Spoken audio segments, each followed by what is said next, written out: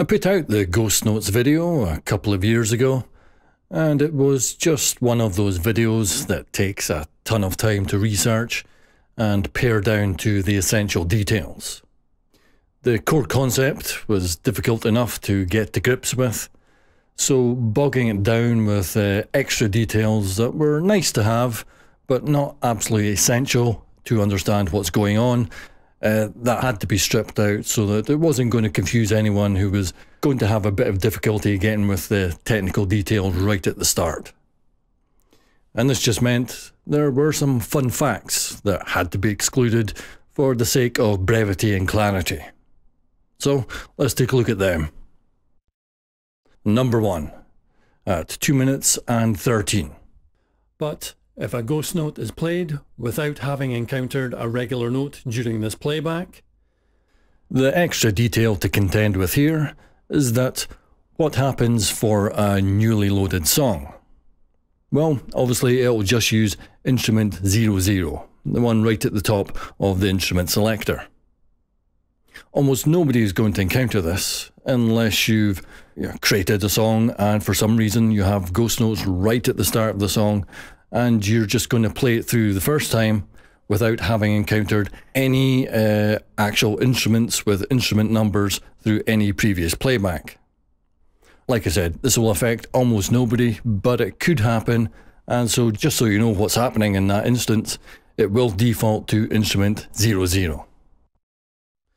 Number 2 at 3 minutes 34. Although playback of an instrument samples are restarted, the modulations are not. They continue uninterrupted. So this is actually a really cool feature and it gives you an extra amount of control over what happens with the envelopes in the modulation section. And it doesn't just affect uh, Renoise 3.0 and up as well. This will also affect uh, previous Renoise versions because there was an instrument envelope section there and ghost notes, and this effect goes all the way back to those earlier versions too.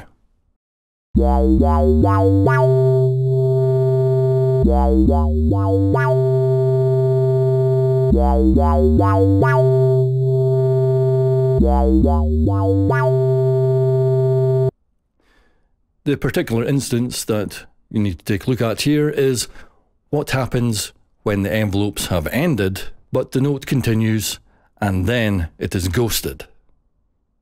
And the answer, of course, is nothing.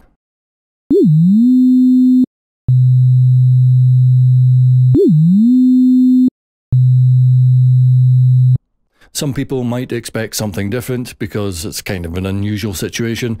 You might expect things to restart, but they don't. Absolutely nothing happens.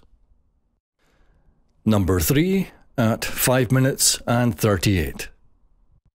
The other things that are affected are the I and O effect commands in both the volume and effects columns. So this one applies to using ghost notes with the I and O commands when applied to phrases that are using plugin and MIDI components.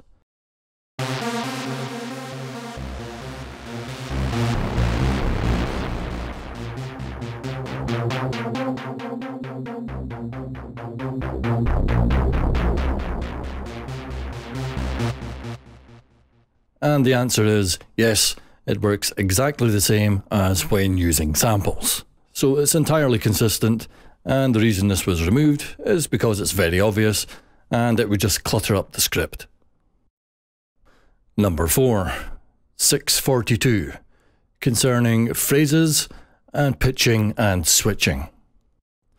Now, what happens when there are multiple triggerings of a phrase in the pattern editor via different columns and tracks. So that is when there's the same phrase playing in different places simultaneously. What happens there? Well, as you might expect, it'd be incredibly complicated to do something very complicated. You could almost never keep track of everything that would ever supposed to happen across the different phrases and the different permutations of those phrases happening simultaneously in the pattern editor. So, the answer is each instance plays completely independently. They have no effect on each other at all. Regular notes played from one phrase activation will not affect the ghost notes in another. And finally, an old favourite at number 5, concerning an old tracker technique which is similar to ghost notes, but just doesn't really apply to renoise. In ProTracker and other older trackers, if you use the sample number only, that is without notes, it will raise the volume back to full if it's been reduced. And this is usually combined with the A volume slide command for stuttering. So you'll push the volume down with A, and then because what will normally happen is you'll fill up the pattern with just the sample number, Whenever A is struck, the volume is instantly brought back up, and you have this nice stuttering rhythm, which, uh, if you offset it against the what the drums are doing, you can come up with some really cool stuff.